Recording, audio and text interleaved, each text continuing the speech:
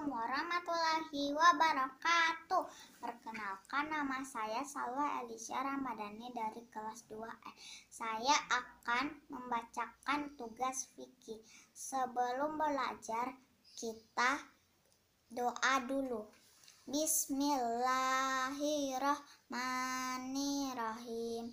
Rabbil zidni ilman warzuqni fahman. Amin Bab 1. Indahnya panggilan Allah. A. Indahnya panggilan Allah 1. Pengertian azan.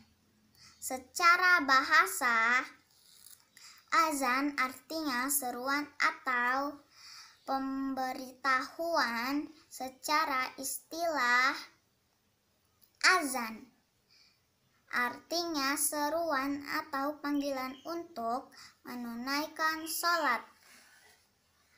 Tujuan azan dikumandangkan.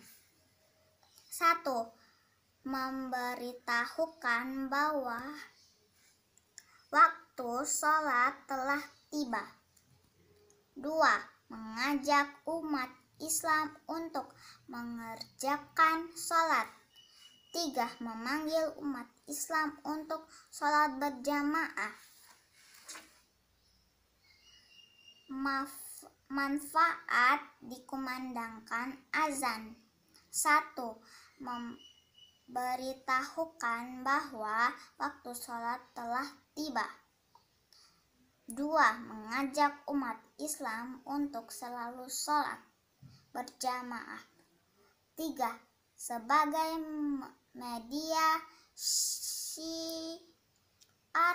syiar dan dakwah umat. Wassalamualaikum warahmatullahi wabarakatuh.